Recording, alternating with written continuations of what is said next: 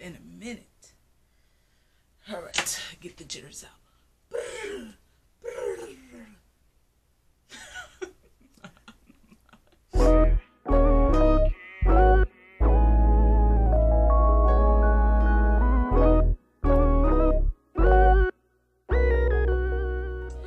Hey, Pom Gang, welcome back to the Pom Sisters YouTube channel. It has been a hot minute since I have sat in front of this camera to come and talk to you. I missed you guys. I'm trying to stay positive, keep myself positive, keep myself upbeat, as well as keeping you guys upbeat. Have you guys having something else to listen to other than what's on the news and on Facebook and Instagram and everywhere else that you look. So, if you are here on our channel, we ain't gonna be talking about that. We just go ahead and just we ain't gonna be talking about that. But what we are gonna be talking about is this crochet wig. Yes, honey, I said crochet wig that I just created in the last 30 minutes. And if you are new to our channel, hello, welcome. How you doing? I hope you are being safe. But go ahead and subscribe to our channel, sweetheart. Go ahead, join the gang. I know you want to be a part of our family. We we would love to have you. Of course, um, I have to give y'all the deets on this because beauty salons and um, hair salons being closed, a lot of us are kind of roughing it out here. I will say that I was one of them with, you know, everything being closed and kind of shut down. I just kind of just gave up on trying to look decent. I'm not even gonna lie. I just like in the past week or two decided to get my life together. I decided to uh, bring you guys a quick crochet look that I created using some box braids. You can use Senegalese twists, any kind of braids. You could probably even use curls if you want to do an updo uh, for curls. But this updo, um, of course, you can wear it in a bun or a ponytail. I decided to do mine as a bun. The hair is really, really long. I just want to show y'all the hair real quick. So I bought the 30 inch. This is 30 inches long and it's uh, the two times open box braid and I don't even recognize this brand. It's by Naturall, but I love them. They they are very like good quality braids. Like a lot of crochet braids, they just be looking kind of skimpy. They have a lot of flyaways. Sometimes they don't close the ends right. Now these are open ended, so that means they're kind of feathered at the end. Matter of fact, here we go. I'll show you. So you have this nice quality braid, 30 inches long, and then at the end it's supposed to be open ended, meaning it has that nice feathered look and they tight hand tied it off right there so it will not come undone and i'm gonna say that i, I love it. These cost me 10 dollars so it was like 9.99 we're just gonna go ahead and say 10 dollars. So it was 10 dollars per pack. I ended up purchasing uh, five packs and i only used like four and a half. And that all depends on how dense and you know how full you want your crochet wig to, to look. I'm pretty sure i probably could have gone away with four but i decided to buy five and i used four and a half. And this is like overall like this looks like some legit i got my hair braided like I just got me some box braids. I have been a big fan of crochet wigs lately. They are so simple, they're so easy to make, and I don't have to worry about sewings and needles and gluing and none of that. I just throw that sucker on and keep it moving. This is exactly what I wanted for this wig when I went to go when I went to go purchase my hair and my materials that I needed. So of course you'll need your crochet needle and all that good stuff. But 30 minutes, sweetheart. It took me 30 minutes to put this wig together and maybe 10 minutes just to put it on my head and that's just to situate it. So i am wearing a scarf around it because of course you would see the band if you would not. Um, so i did decide to accessorize it wearing a scarf. And y'all know i love me some head wraps and i love wearing my head wraps during the summertime. So i have no problems with it. Now of course my head wraps are legit long this may be a little too long and it may be too thick for you to want if you want to wear this during the summertime you can always opt out to buying one of those you know nice sheer headbands that you could purchase from target or walmart. Honey go for it. Be creative. Add some studs add some flowers have fun with it. And we're gonna go ahead wrap this all up and get started with this tutorial